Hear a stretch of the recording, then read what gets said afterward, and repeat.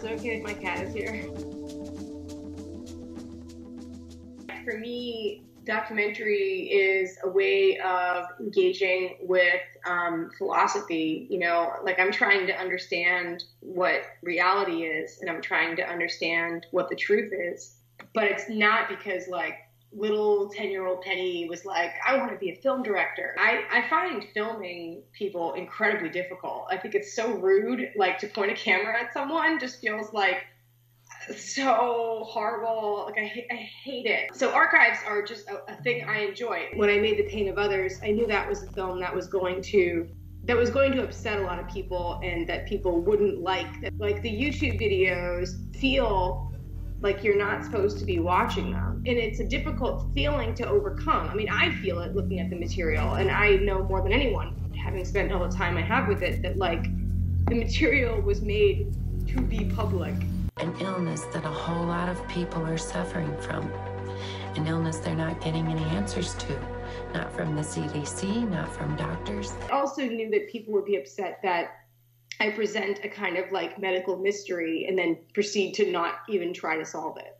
So that upsets people's expectations of what a documentary is for.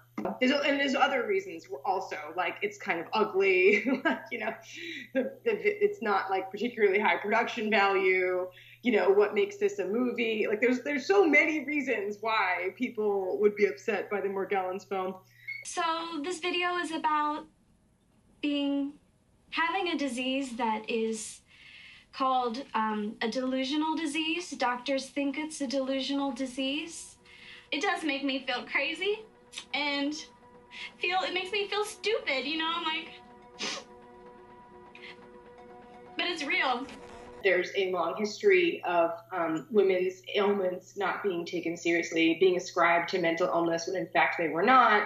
And on the other hand, there's also another way that I sometimes think about it, which is that, you know, we do live in a culture where, you know, women are not only expected to engage in, but are rewarded for engaging in like a kind of morbid self attention. You could say the story is about people being driven insane by an illness that they don't understand and that no one believes them they have. Um, or you could sort of see the illness as a kind of social media disease um, kind of sends them deeper down a rabbit hole of crazy. I'd like the world to know that when you're a Morgellons patient, you are treated worse than you would treat your family pet. When you're rejected like that, you don't feel like living anymore. You feel like you don't have any hope.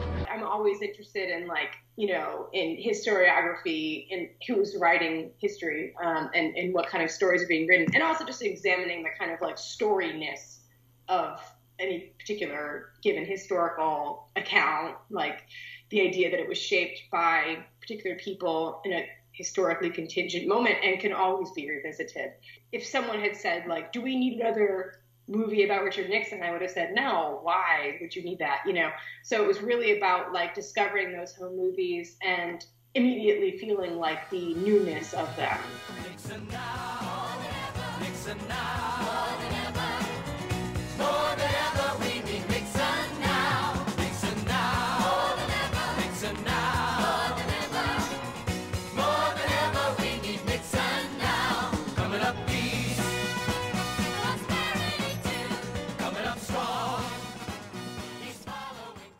The home movies just immediately suggested a new version of that story that wasn't so far outside of what we understand to be true or what we are generally accepting to be true that would be incomprehensible, but suggested a kind of point of view that I thought I had never considered. The idea of the, of telling the story of the people who supported him and then were betrayed by him I said, oh, that's new. Like, I don't know that story.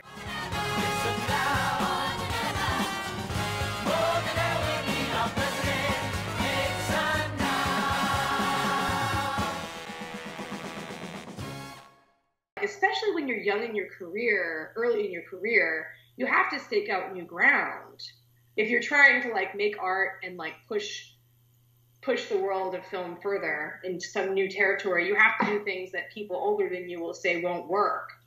Um, I mean, even as simple as like when I made our Nixon, a lot of people who knew better than me said, that won't work. Like, how do you make a movie with all archival footage? And that sounds absurd now because it's now 2019. And now the idea of an all archival documentary is actually like mundane. People are just going to tell you to do what they know works, which is fine, fine advice. Um, but it's not particularly interesting, and it's certainly not what what I want to do with my life. Is not like repeat things that have already worked and make films that have already been made. So don't listen to advice. Is my advice, I guess.